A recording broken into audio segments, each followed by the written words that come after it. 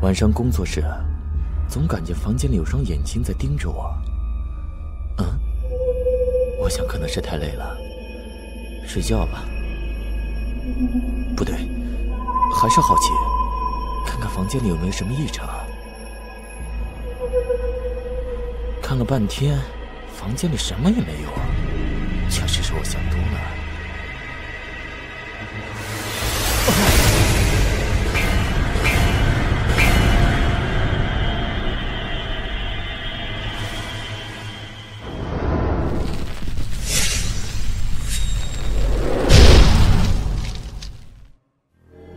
那是个闷热的夜晚，屋子里有只蚊子，嗡嗡的，吵得我一直没睡好。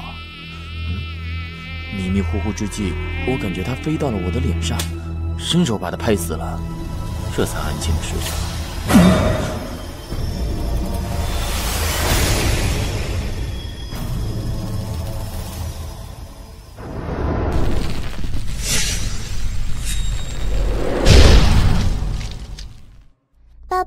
我害怕衣柜里有动静。傻孩子，那都是你胡思乱想。晚安啦，宝贝。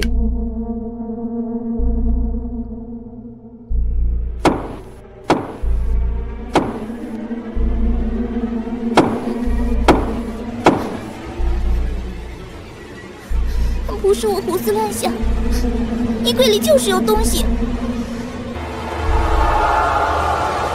啊！爸爸，刚才那人是谁？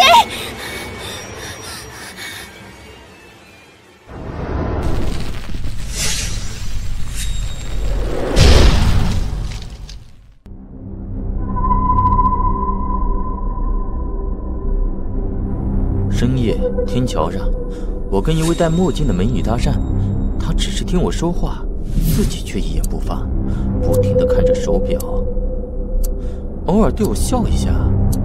她在等什么呢？当她转头时，我想我该走了。